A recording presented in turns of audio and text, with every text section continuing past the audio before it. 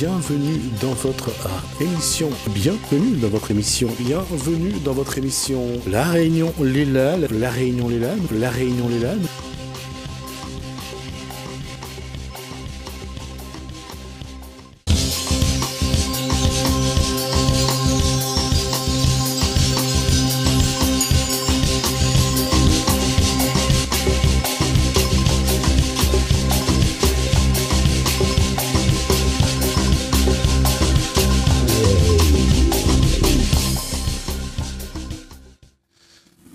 Bonsoir à tous, bienvenue dans votre émission La Réunion, on est là. On espère que la journée a été bonne, que la soirée s'annonce toute aussi belle.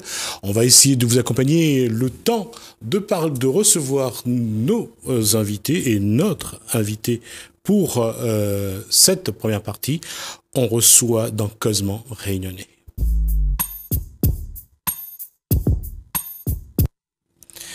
Julie Arubani, bonsoir. Bonsoir. Candidate de Croire et Oser, vous êtes donc candidate à Saint-André. C'est ça, exactement.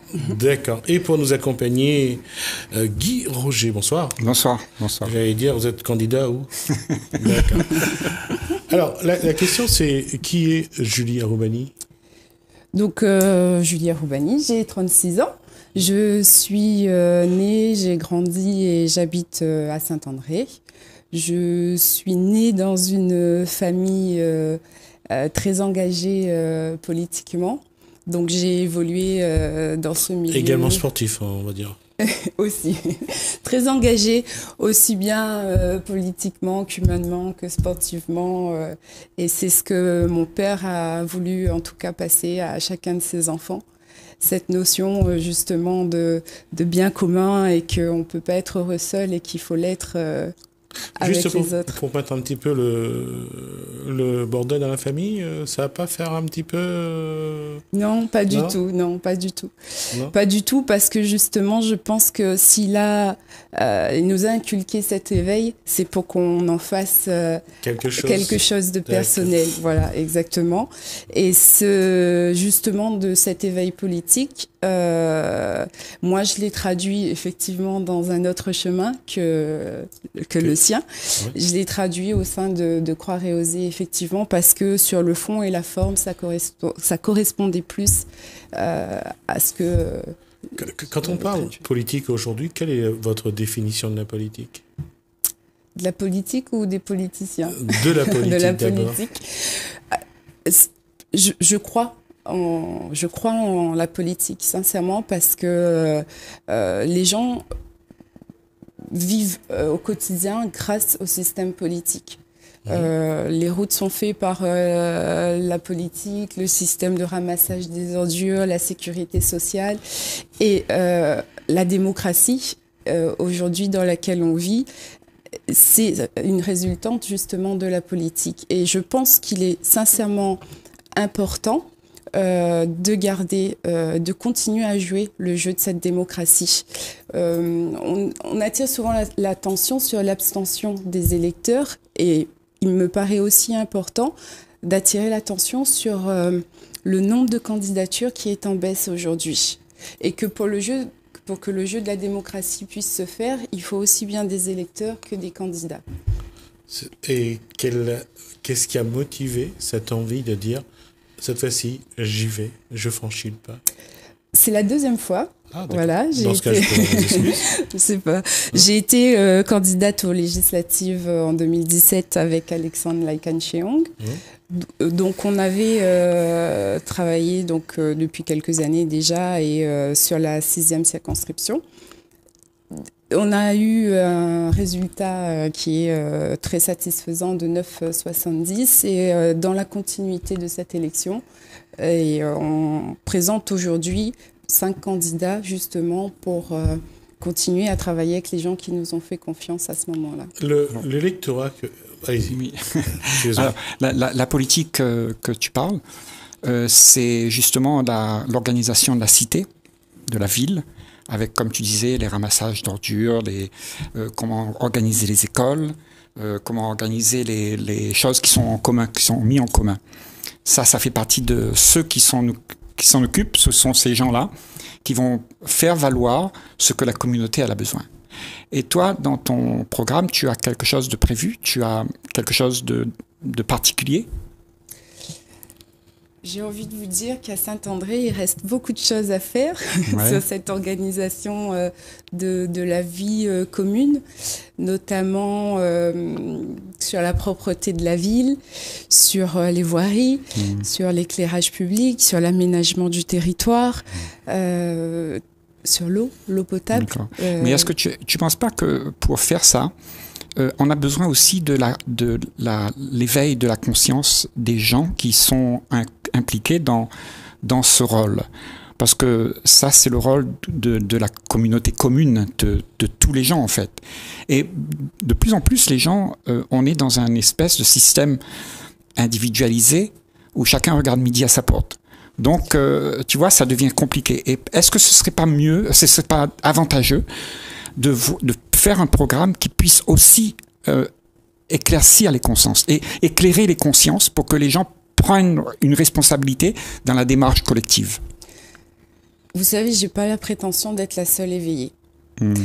Et quand on est vraiment sur le terrain, on se rend compte euh, que vraiment aujourd'hui les gens ont justement euh, besoin euh, de s'impliquer et ils ont envie et que malheureusement, euh, ne se reconnaissant plus dans ce que proposent euh, les candidats habituels, ils, sont restés chez eux. Et mmh. aujourd'hui, justement, quand on est sur le terrain, on se rend compte que les gens ont cet éveil, ont cette conscience, mmh. ils ont des projets et que... Alors comment ça se passe, l'échange avec eux? Comment sur le terrain vous discutez? Comment vous échangez? Qu'est-ce qu'ils vous disent et qu'est-ce que vous leur répondez? Qu'est-ce qu'ils me disent? Alors, euh, il y a un point qui revient souvent sur Saint-André, c'est euh, ils savent, ils ne veulent plus justement de, de ce renouvellement. on assimile ça plutôt à une dynastie. Euh, ils se disent qu'il est temps que ça s'arrête. Il est temps de tourner une page aujourd'hui. Il est temps de tourner cette page, en tout cas, qu'on n'est plus à l'époque des rois euh, où on lègue euh, la monarchie au, c'est pas un héritage c'est pas un héritage euh, familial hmm. et que c'est certainement je pense la goutte qui fait un petit peu déborder le vase et que il est temps que ça hmm. s'arrête mais est-ce que est-ce qu'il faut peut-être comprendre aussi qu'est-ce qui a fait que cette monarchie cette tout ça s'est installé et pourquoi? Parce que si on n'a pas compris pourquoi ça s'est installé pareil comme ça, de cette manière. Et la manière aujourd'hui dont on vit, c'est justement cette pression de ces gens-là qui veulent garder le pouvoir. Est-ce que si on n'a pas compris ça, on ne répéterait pas les mêmes choses? Je pense que à la Réunion, et là je vais partir un petit peu euh, dans un contexte plutôt régional, on, est passé de colonie à département et on s'est dit on change un statut. Et quand on a changé ce statut, quelques privilégiés se sont bien gardés euh, de faire profiter de, ce changement de statut à la population. Hmm.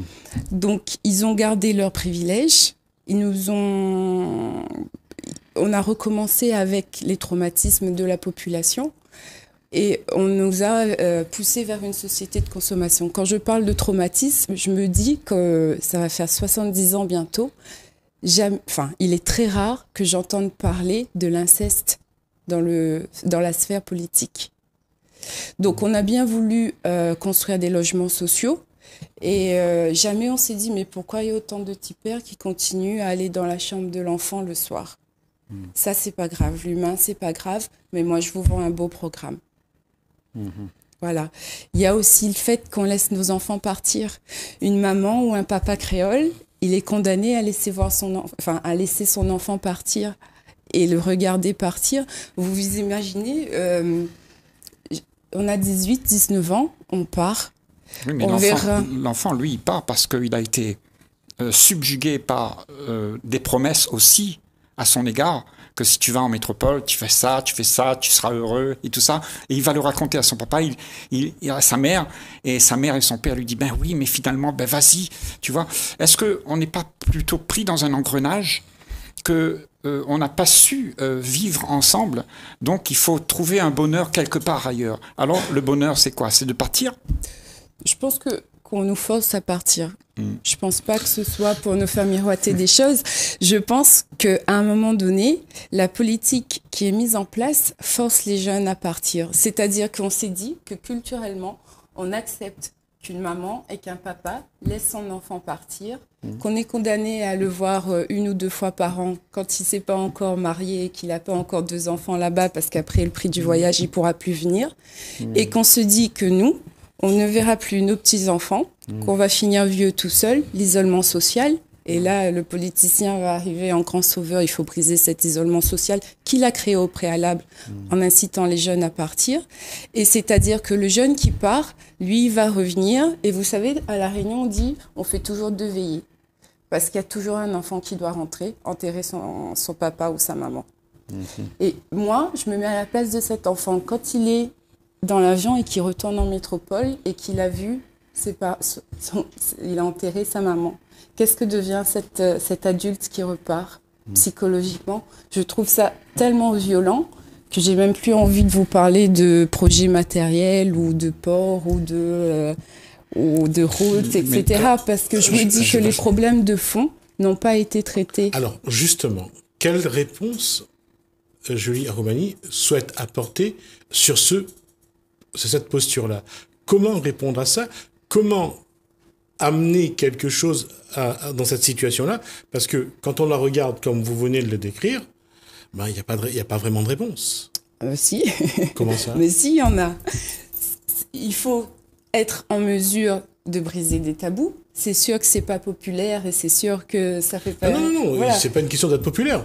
Moi, non, bah, je, politiquement, je pense que aborder ces sujets-là, euh, quelque part, on dit souvent que les gens votent parce qu'on leur vend du rêve. Si à 70 ans, on dit non, on va traiter les problèmes de fond, on va faire une fondation solide avant d'aller euh, construire euh, quelque chose d'autre.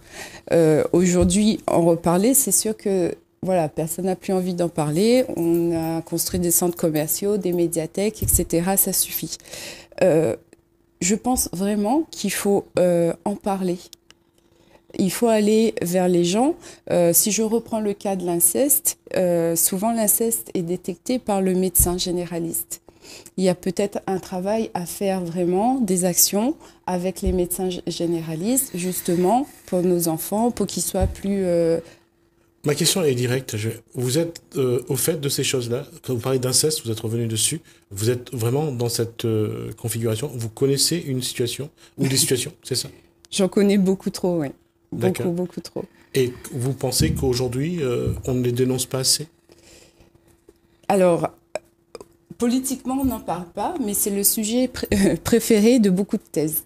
Beaucoup de, médecins réunionnais, ils, en parlent beaucoup dans leurs thèses. J'ai eu l'occasion de travailler sur, euh, sur, cette, euh, sur cet élément-là, sur l'inceste, et vous avez raison. C'est-à-dire que nous, on le sort de temps en temps parce que ça nous concerne.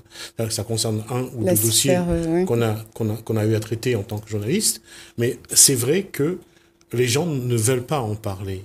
Alors, comment aujourd'hui amener le sujet qu'est l'inceste euh, sur la, la table? Comment faire en sorte que les gens en parlent de manière j'allais dire sans pour autant qu'on dénigre, sans pour autant critiquer, mais comment aborder ce, problème, je dirais, avec objectivité? Comme je vous ai dit, je pense qu'il y a un vrai travail à faire avec les professionnels de la santé. Et au-delà de ça, je pense que les mamans d'aujourd'hui ne sont plus les mamans d'avant qui euh, avait tendance, il y a un rapport qui, qui, qui, est déchirant qui dit que dans 95% des cas, les mamans sont au courant et elles n'ont rien dit.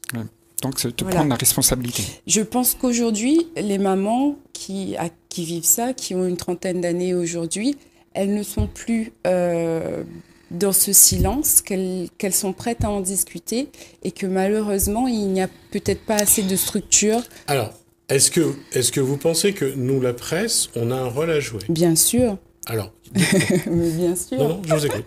Mais il faut en parler. Il faut. Euh, il y, y, a, y, a, des mamans qui sont prêtes à en parler. Il faut aller les chercher. Elles sont souvent isolées chez elles. Il faut qu'elles viennent aussi. Demander. Elles peuvent venir. Parce que si on doit aller chercher les mamans qui veulent pas parler, C'est difficile. Il faut qu'elle prenne déjà la décision de venir parler. Oui, il faut qu'elle le prenne. Il y a aussi, mais vous savez, c'est comme en politique quand on dit que les gens n'y s'y intéressent plus, c'est pas vrai. Parce que quand vous allez chez eux, tout à coup, ils ont plein de choses à dire. C'est ça. Voilà. Hmm. Peut-être qu'à vous, ils ont, ils veulent se, se confier, mais peut-être pas à nous. Vous pensez que vraiment que demain quelqu'un peut venir là et venir se confier Peut-être pas toute seule. Si vous en avez plusieurs, je, je suis certaine que oui. D'accord. Bah écoutez, voilà ce que je vous propose, c'est que on va euh, après l'émission, je vais discuter avec vous et on va voir qu'est-ce qu'on peut faire. Ok. D'accord. On va revenir à, à, l'échange politique.